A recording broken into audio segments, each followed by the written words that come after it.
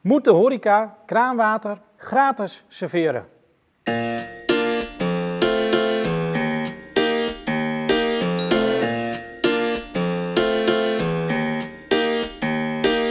Aan de ene kant zegt men dat een gast water uit de kraan in een restaurant of café gewoon gratis moet krijgen.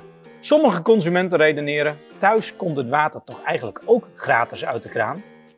De voorstanders vinden daarnaast dat de kwaliteit van het kraanwater in Nederland net zo goed is als water uit een flesje. Ook Jesse Klaver van GroenLinks vindt dat kraanwater in de horeca gratis moet worden. Volgens zijn berekeningen resulteert de productie, verpakking en transport van plastic of glazen waterflesjes in enorm veel CO2-uitstoot.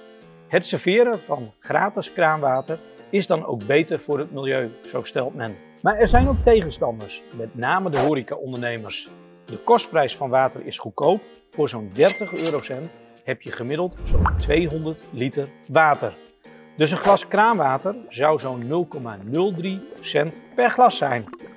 Maar, zo redeneren de tegenstanders, er zitten kosten verbonden aan dat ene glas kraanwater.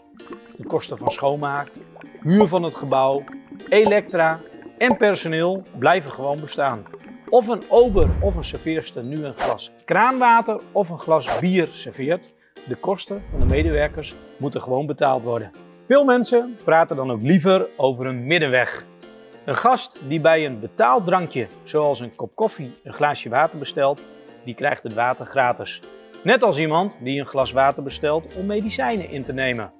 Maar een gast die besluit om de hele avond alleen maar kraanwater te nuttigen, moet gewoon betalen.